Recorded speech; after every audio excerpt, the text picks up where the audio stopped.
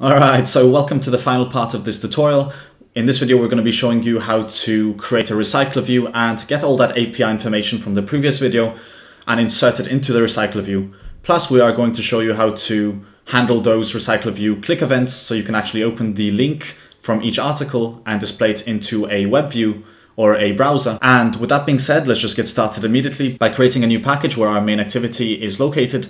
So we'll go and type in new package and inside here we will type in adapters. And inside here we want to create a new class. So we'll do Kotlin class and we'll name it recycler adapter.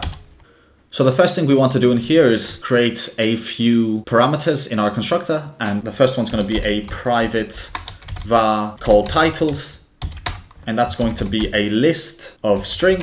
And since they are all going to be lists, we can just try to save some time by copy and pasting all of this. So we'll go one, two, three, and remove the last comma. The second one is going to be called details. The third one should be called images. And the fourth one will be called links. Let's just tidy that up a bit. And then down here, right before the curly bracket start, we want to extend recycler view dot adapter and inside here we will write recycler adapter and we have to write view holder at the end so the first thing we should do is actually implement the members that it wants us to implement so we will just enter those and it will give us all of these down here inside the block. And the first thing that we really should do is create an inner class. So we'll type here inner class and that's going to be called view holder which is going to take an item view of type view and we should import that and it's going to return a recycler view dot view holder with an item view and I just realized why there was an error. I forgot to add a C here. So it said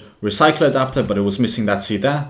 And also I definitely forgot to add the constructor invocation. It was just expecting that I added these parentheses there. But anyways, once we fixed all of that, we can continue inside our inner class and we are going to start by writing value item title and that's going to be of type text view which is going to equal item view dot find view by id and it's going to go r dot id dot tv underscore title. And we really should import this arc. So let's tap on imports and now we're going to create a few more of these. So it's going to be value item detail and that's also going to be a text view and we're going to equal that to item view dot find view by ID and that's going to be r.id dot id dot tv underscore description then value item picture which is going to be an image view and it's going to be of item view dot find view by id r.id dot iv underscore image. And inside this inner class, we are going to take care of the on-click listeners for each item. So we're going to start by typing an init block. And inside this init block, we're going to type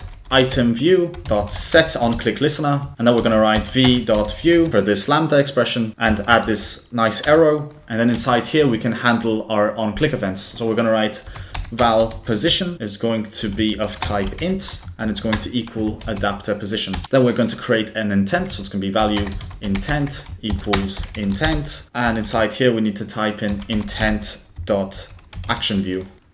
And right below, we're going to write intent dot data.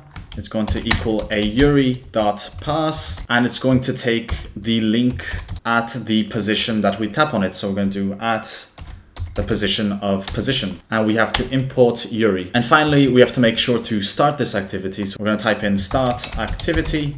Even if the IDE does not want to help me out, this is a valid function. So start activity, item context, and then it's going to take the intent as an intent, and the options are going to be set to null. Then we can just tap on start activity and click on import, and this whole init block should take care of all the on-click listeners. Then we can just tidy that up a bit, and we can go below to the overridden functions. So we will start with the onCreate view holder, where we will create a value of v and it will take a layout inflater and then it will take it from the parent.context and we will inflate r.layout.item layout and we'll type in parent and we will not attach it to root so we will set that to false.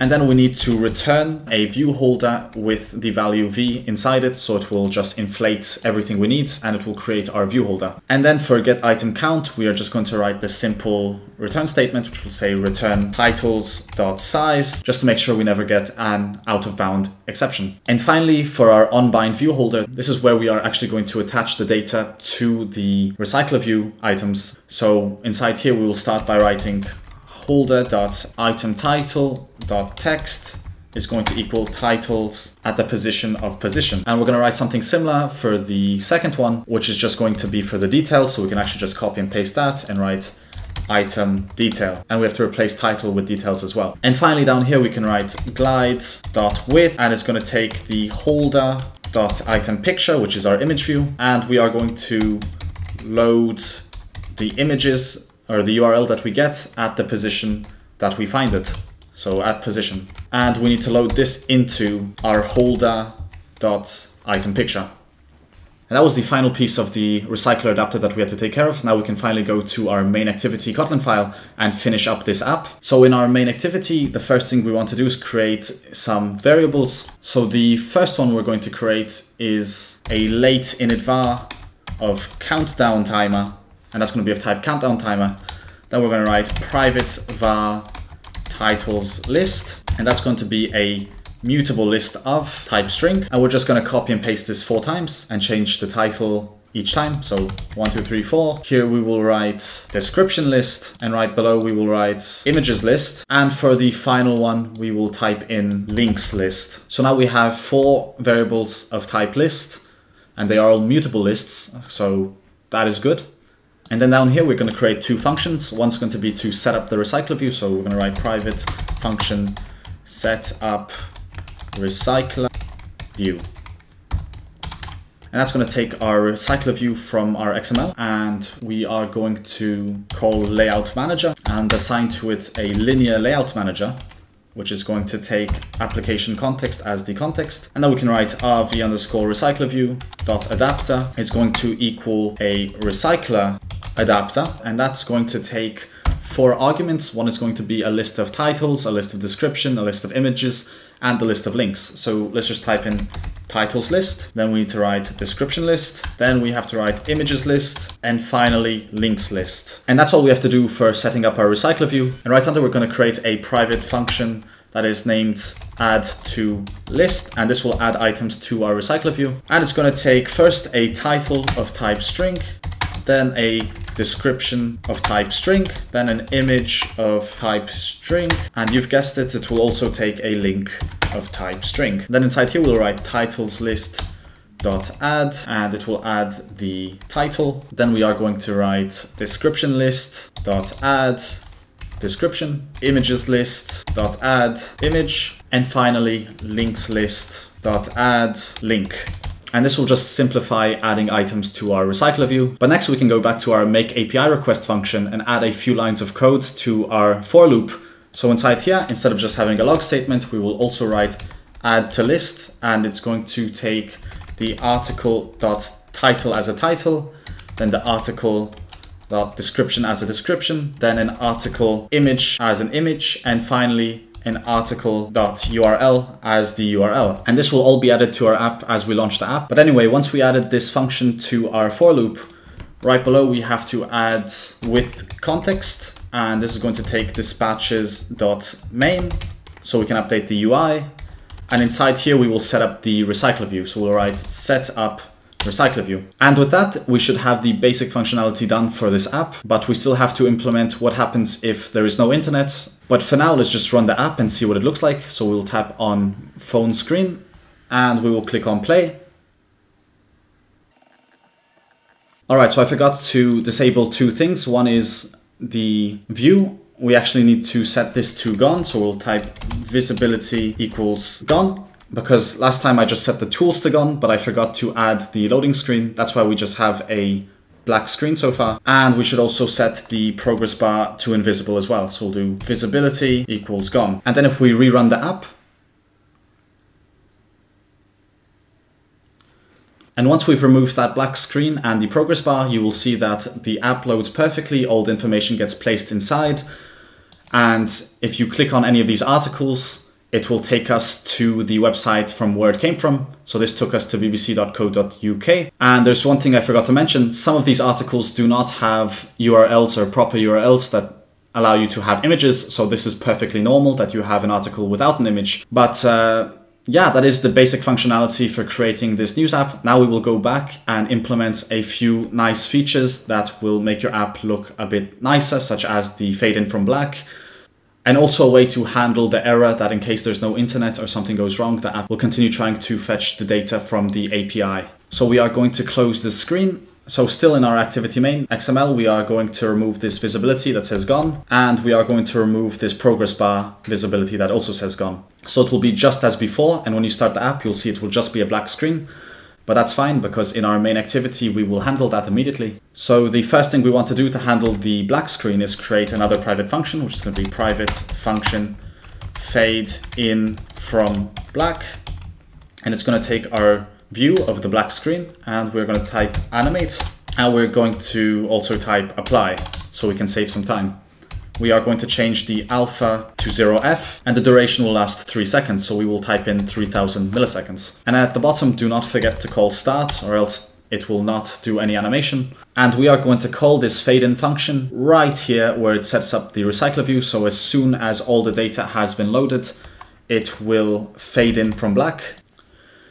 And we also want to set the progress bar visibility to visible when we make the API request. So we'll write view.visible and we will copy and paste this. And as soon as it loads, so as soon as it fades in from black, it will change this view to gone and it will disappear. And finally, we only have one more thing to do, and that is in case there is no internet, we would like this app to continuously try to fetch the data so that the user does not have to wait indefinitely. But we can handle that by first writing with context and calling Dispatchers.Main and inserting a function which we will call attempt request again. And then we of course have to create this function. So we will go down and write private function attempt request again.